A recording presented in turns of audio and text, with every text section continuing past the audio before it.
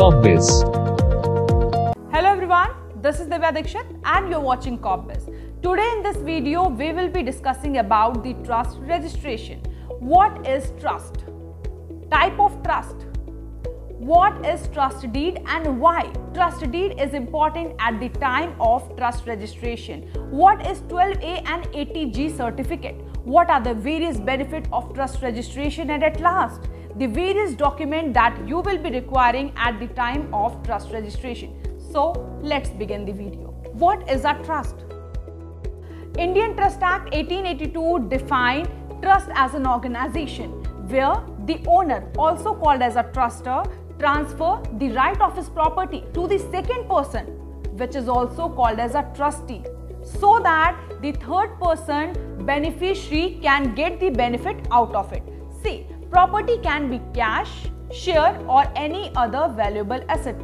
Such a property is moved by the trustor to the trustee along with the declaration so that the trustee should hold the property for the recipient. So now we will be talking about the type of trust. So let me tell you there are two type of trust.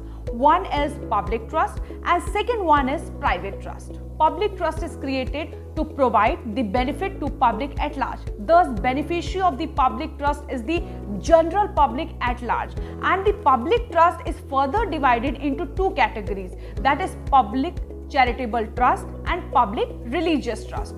Private trust. Private trust is created to provide the benefit to the individual other than the public or charitable purposes. What is trust deed and why? It's important at the time of trust registration.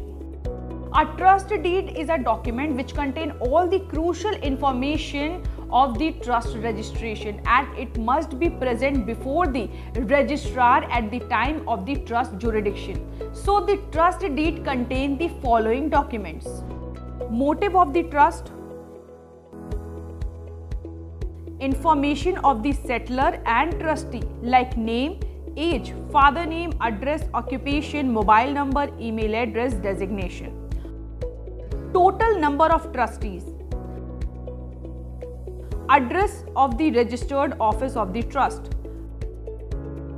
rules and regulation that the trust will follow proposed name of the trust. A copy of identity proof of the settler and trustee. Passport size photograph of the settler and trustee. Presence of the settler along with the original identity proof and two witnesses at the time of registration. Some state have made presence of trustee mandatory as well. 12A and 80G certificate. Income Tax Department issues 12A certificate to the trust and the NGO and NGO trust having 12A certificate is not liable to pay of the income tax for the lifetime on its surplus income.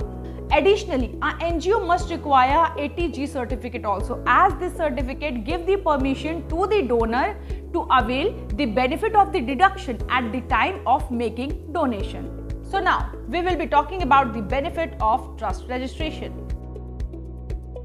The reason behind to create a trust is to indulge in charitable activities and at the same time to avail the benefit of tax exemption.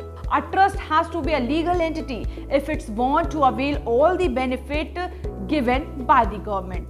A trust gets land from the government. Benefit of 80G certificate. Benefit of income tax white capital for the construction of building.